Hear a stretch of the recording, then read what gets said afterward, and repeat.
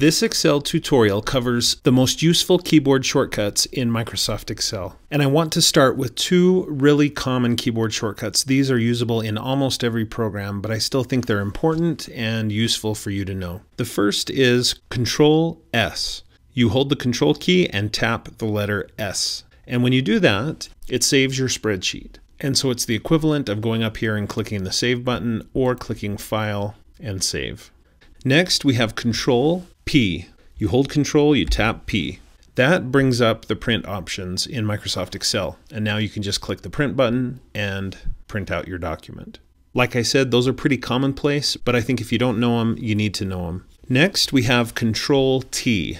And what Control T does is it turns the selected cells into a table. You can see that I already have a table here on the screen. This is a list of synth pop and new wave bands and their most recently released album and also their current price on amazon.com. And you can see it's a table. You can tell that it's a table because it's formatted in a special way. The colors alternate and things like that. You can just tell that this data is meant to go together in this table. And I can create a table like this simply by holding control and tapping T. So for example, over here on sheet number three, I'm going to click. Here is the data that I would like to turn into a table. All I have to do is click and drag to highlight the range that I would like to turn into a table. I release the mouse and now I hold control and tap T. Excel asks where's the data? It seems to already know, but if it happened to be wrong, I could change that. My table has headers. Yes, it does. Buyer, amount spent, date. But if it didn't have headers, I could uncheck that and just click OK and look what it did. It automatically turned that data into a table. So Control T, a really useful tool that I use quite a bit. Jumping back to sheet one, the rest of the Excel keyboard shortcuts that I'm going to show you have to do with getting around in your Excel spreadsheet. And in many cases, that is one of the hardest, most tedious parts of using Excel. I constantly have to navigate around the data in my spreadsheet. So I'll need to go up to the top, to make changes, and then I need to go down to the bottom. And this is a pretty small spreadsheet, to be honest. But if you had 2,000 records, if you had 5,000 or 10,000 records in your spreadsheet, imagine having to jump around from the top of your spreadsheet to the bottom and vice versa. And then also, sometimes it can be hard to click and drag and select the right data. If I wanted to select this entire row, sometimes that's kind of difficult and I might be inaccurate with how I do it. Same with a column. If I wanted to select this whole column, sometimes that's hard to do. So let's take a look at some keyboard shortcuts that can make doing these tasks a lot easier and quicker. And the first example is whenever you want to go to the top left corner of your data in a spreadsheet, simply use the keyboard shortcut Control Home. So hold the Control key, tap Home, and look what it did. It took me up to the top of my data, but not only that, it actually went to the upper left corner. So that cell is actually highlighted, cell A2 in this case, because that's where the data begins. So Control plus Home is very useful. Let's look at the opposite example. A lot of times you need to get to the bottom of your data. To do that, you hold Control and tap the End key. And notice what that did. That took me to the lower right corner of my data in the spreadsheet.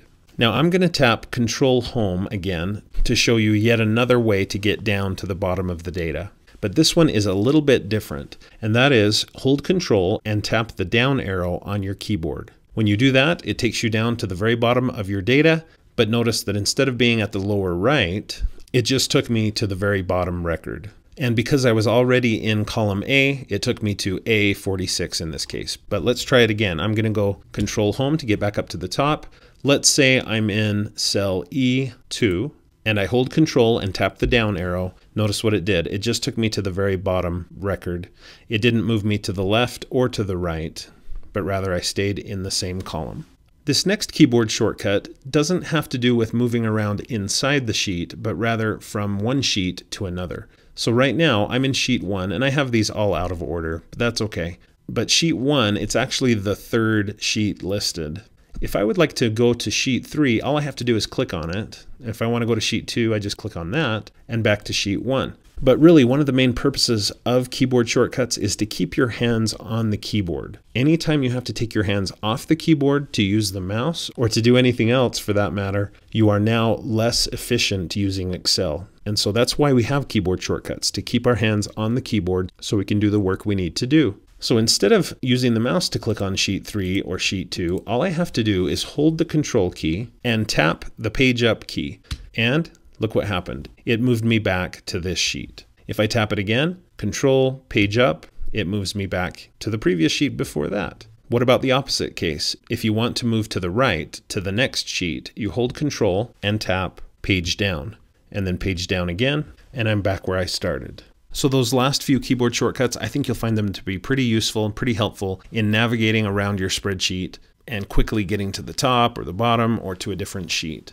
This next keyboard shortcut is kind of fun to do and kind of interesting, but I don't use it that often to be honest with you. But what it is is Control D, and you use Control D to copy an item down. So for example, each of these amazing synth pop or new wave bands has more than one CD listed in this spreadsheet, except for Brandon Flowers. But he has had other releases besides the amazing CD The Desired Effect that came out a year or two ago. So if I would like to add more entries for Brandon Flowers, I could click on that cell, copy and paste it, or I could click on it and use the autofill handle to just fill it in like that. But instead, I'm going to use Control D. And to do that, first I need to select what I want to copy, Brandon Flowers in this case, and then drag down as far as I want it to be copied. So I want it to go down to 60. Then I just hold Control, tap D, and because I'm in a table, I'm getting this warning, but don't worry about that. I just click OK,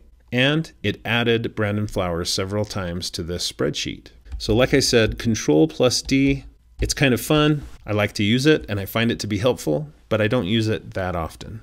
So now let's look at the last three keyboard shortcuts that I'm going to recommend that everybody learn. And the last three all deal with selecting data. In Excel, you have to select data often in order to copy and paste, in order to change the font or the formatting or the alignment of the data in your spreadsheet. There's lots of examples and lots of times when you need to select data. And of course, you could do that the manual way. You could just click and drag to highlight and select the text, and that's a good way to do it. But let's look at some shortcuts. If you've clicked on your spreadsheet, you can hold Control and tap A, and it should select all. Now, if you're in a table, notice that it selects everything that's in the table, and it does not include any information that's outside the table. However, if I hold Control and tap A again, then it does select everything. So you can see that that's indeed what happened. However, in this case, I just want to select the table. So Control A selects just the table. I'll use Control C, which of course is copy. And then I'll go to, let's say, sheet 2, and I'm going to hold Control and tap V for paste, and it pasted in that table. So Control A selects everything Unless you're inside a table, then it selects everything in the table, but nothing more. But again, you could do Control A twice to then select everything. All right, next up we have Control Space. And Control Space is for selecting an entire column. Put the cursor wherever you want it to be, hold Control, tap Space, the entire column is selected, and then you can copy paste it as needed, or change its font or alignment or whatever you need to do.